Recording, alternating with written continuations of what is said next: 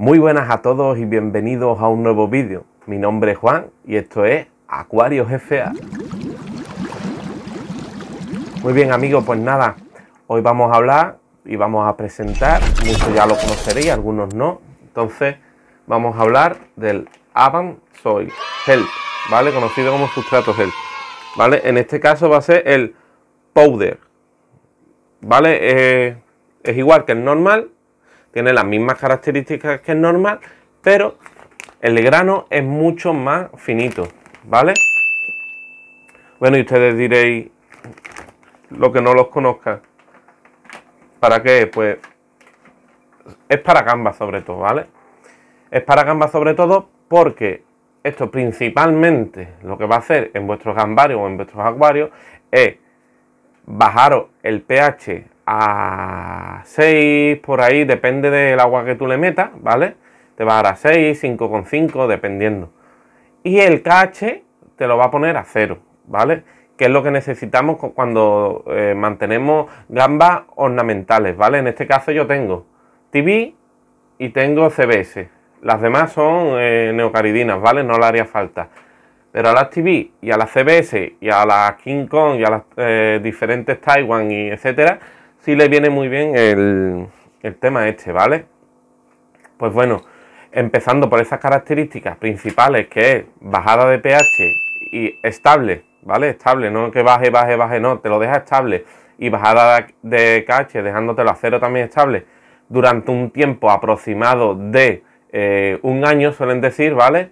Pues eso es lo principal. Y luego, a mí físicamente me gusta, os lo voy a mostrar. Veo un sustrato muy, muy bonito, ¿vale? donde resaltan muy bien las la gambitas. Y como veis es una fina capa, una capa solamente para, para tapar lo que viene siendo el, el cristal de abajo, ¿vale? Igualmente con la CBS los tenemos igual, ¿vale? Justamente para tapar el, el cristalito, ¿vale?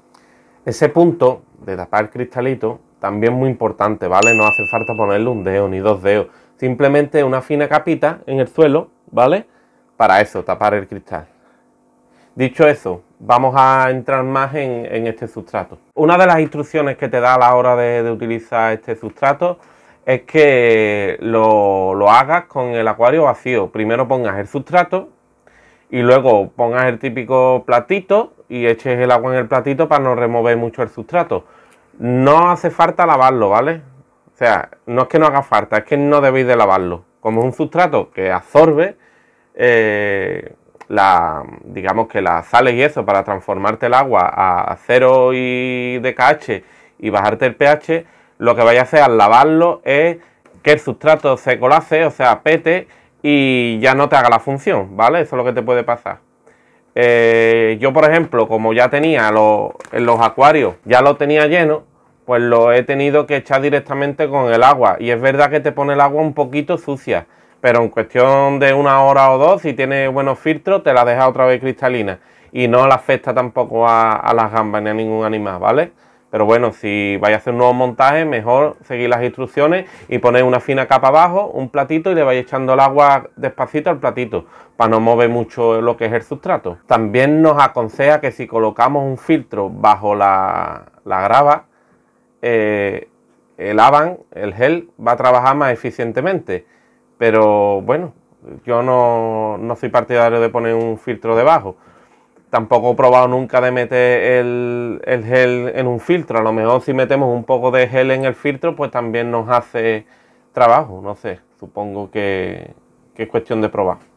Cosas que tener en cuenta es decir que el, gel te baja lo que es el KH y el pH por él, por solo, ¿vale? No es bueno combinarlo con, otros productos que vayan a hacer lo mismo porque podemos tener eh, problemas.